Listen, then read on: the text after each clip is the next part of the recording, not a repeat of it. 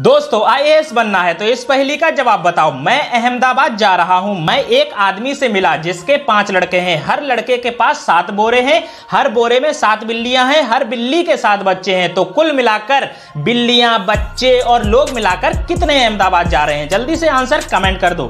IAS बनना है तो इस पहेली का जवाब बताओ। एक बकरा भारत और पाकिस्तान के बॉर्डर पर रहता है।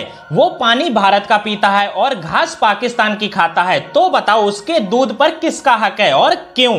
तो दोस्तों, यह ज़रूर बताइएगा आप।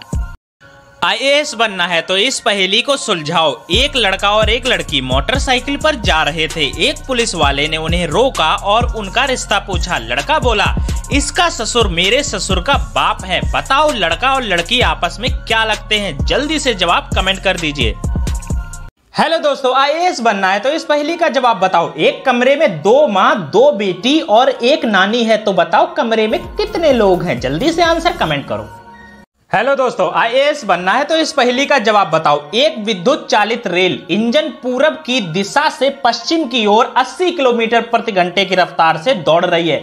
हवा की गति 15 किलोमीटर प्रति घंटे की है। रेल इंजन का धुआँ किस दिशा में जाएगा? जल्दी से कमेंट करके इस पहली का जवाब बताओ।